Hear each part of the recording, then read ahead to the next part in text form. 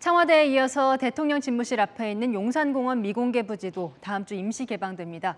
아, 대통령 집무실 앞마당까지 가볼 수 있다는데요. 어떻게 신청하면 되는지 이민준 기자가 소개합니다.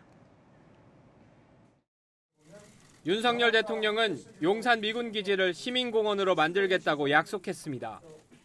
반환 시기는 한 6월 전쯤 되는 것 같습니다. 네, 그러면은 즉시 시민공원으로 전부 개방을 하고 다음 주 미공개 부지가 일부 모습을 드러냅니다. 용산공원의 일부를 오는 25일부터 13일 동안 일반 시민에게 한시 개방합니다. 이곳 출입문을 통해 대통령 집무실이 있는 건물 근처까지 들어갈 수 있습니다.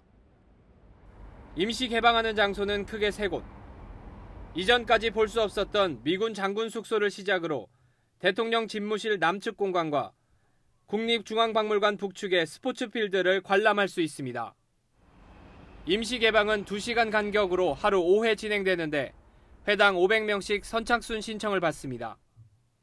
사전 예약은 내일 오후 2시부터 온라인에서 할 수 있습니다. 정부는 용산 미군 기지터에 토양 지하수가 오염됐다는 우려에 대해선 대책을 세우겠다고 강조했습니다.